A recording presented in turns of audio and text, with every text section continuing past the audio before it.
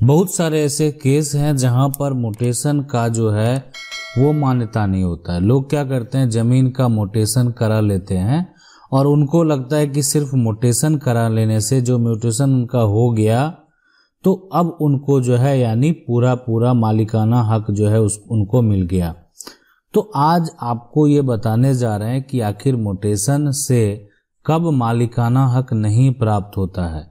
और अगर बात करें तो कुछ दिन पहले का ही बात है, सुप्रीम कोर्ट का भी जजमेंट आया था कि सिर्फ़ आप मोटेशन अगर करा लेते हैं तो आप संपत्ति के मालिक नहीं हैं।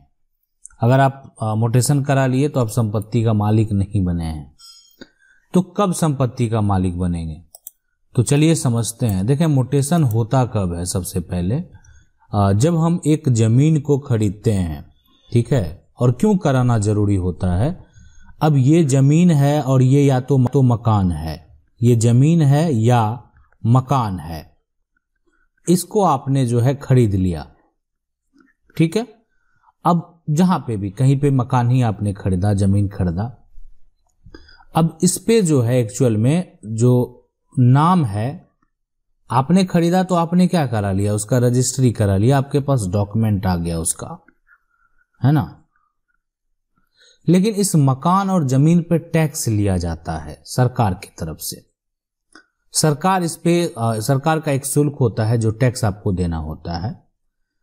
तो वो टैक्स जो है अभी जो विक्रेता था बेचने वाला व्यक्ति था उसी के नाम से था। अगर वो संपत्ति को बेच दिया यानी संपत्ति का रजिस्ट्री भी कर दिया तो भी वो विक्रेता के नाम पे ही जो है आ, सारा कुछ टैक्स जाएगा। तो उसके लिए एक प्रक्रिया किया गया कि जब आप रजिस्ट्री करा ले, लेते हैं तब उसको जो है मोटेशन के लिए अप्लाई करेंगे। यानी उसका मोटेशन करवाएँगे।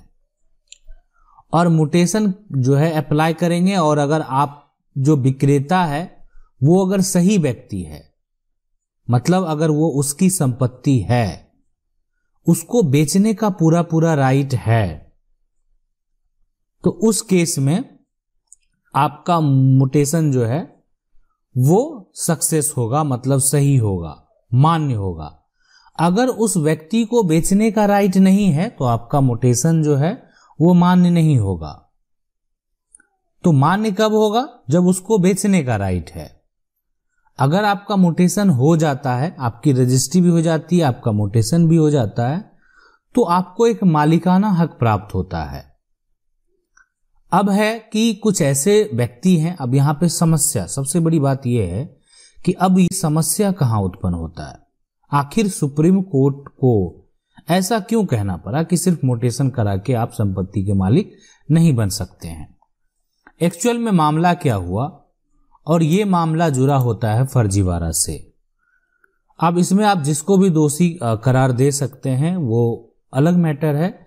लेकिन अगर कोई ज़मीन है ज़मीन का जो मोटेशन यानी है जो जिसको अगर आप बोलें तो यहाँ पर हिंदी में दाखिल खारिज भी बोलते हैं है ना? दाखिल खारिज भी बोलते हैं। तो ज़मीन का जो है यानी जो मोटेशन प्रक्रिया है मोटेशन का जो प्रक्रिया है दाखिल खारिज का जो प्रक्रिया है उस ज़मीन का कोई बिना रजिस्ट्री के अपने नाम पर करवा लेता है। आप मतलब जो आ, सरकार का कार्यालय है या किसी कारणवश गलती से भी हो सकता है मतलब अगर जो सरकारी कार्यालय है, उसका जो ऑफ़िस है, उसके मिस्टेक से भी ऐसा हो सकता है, ऐसा हो सकता है कि गलत से दूसरे व्यक्ति का जो है प्लॉट वो आपके नाम से चढ़ गया है। तो अगर सिर्फ़ आपके पास एक मोटेशन का पेपर है, सिर्फ़ आप सरकार को टैक्स भी दे रहे हैं, आप सारा प्रोसेस कर रहे हैं, लेकिन उसका मालिक आप नहीं है, उसका आपके पास रजिस्ट्री नहीं है, आप उस संपत्ति का, वो संपत्ति आपको कैसे प्राप्त हुआ, ये आपके पास सबूत नहीं है तो आपको पूरा पूरा मालिकाना हक नहीं मिलता है। यानी मालिकाना हक प्राप्त करने के लिए संपत्ति का मालिक होना बेहद ज़रूरी है। मान लेते हैं ये प्लॉट है, इस प्लॉट का आप खरीदने गए तो आप कहाँ जाते हैं? आप रजिस्ट्री ऑफ़िस जाते हैं, आपकी ज़मीन की रजिस्ट्री होती है, आपको एक इस प्रकार का डॉक्यूमेंट मिलता है। उसके बाद अगर जो बेचने वाला विक्रेता है, जो बेचने वाला है, अभी बेचने वाला का ही नाम दर्ज है सरकार के रजिस्टर में, यानी आप सिर्फ़ रजिस्ट्री का पे नहीं कर सकते हैं। तो आपको इस रजिस्ट्री को ऑनलाइन जो है या ऑफलाइन जो भी प्रक्रिया, वो आपके राज्य सरकार के नियम के ऊपर डिपेंड करता है। ऑनलाइन या जो है, यानी ऑफलाइन जो है, अप्लाई करना होता है। है ना? करना होता है। तो यानी ये प्रक्रिया होगा कि ऑनलाइन या ऑफलाइन जो है वो अप्लाई किया गया और अप्लाई करने के बाद जब ये प्रक्रिया हो जाता है तो फिर आपका जो है यानी उस व्यक्ति का जो विक्रेता है उसको नाम को जो है यानी काट दिया जाता है, नाम को कैंसिल कर दिया जाता है और नया नाम जो है वो क्रेता का ऐड कर दिया जाता है। है ना? तो ये आपका नाम तो ऐड हो गया। अब उसके बाद आप क्या करते हैं, आप उस संपत्ति का टैक्स अब सरकार को आप दे सकते हैं।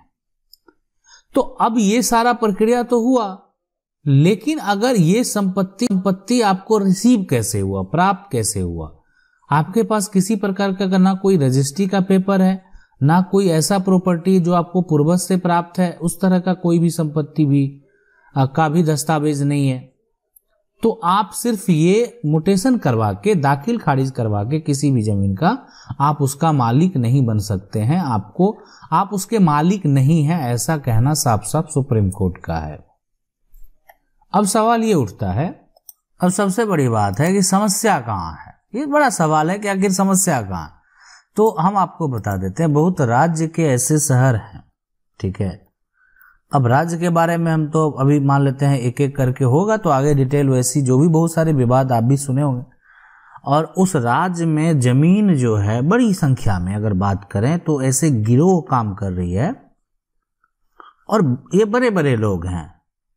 और वो क्या कर रहे हैं कि जो एक तरह से ज़मीन सरकारी है, बंजर है, खाली है उसको अपने अंडर में कंस्ट्रक्शन करवा के अब मान लेते हैं और उसको जो है आ, उस पर कॉलोनियाँ बना देती है। ठीक है?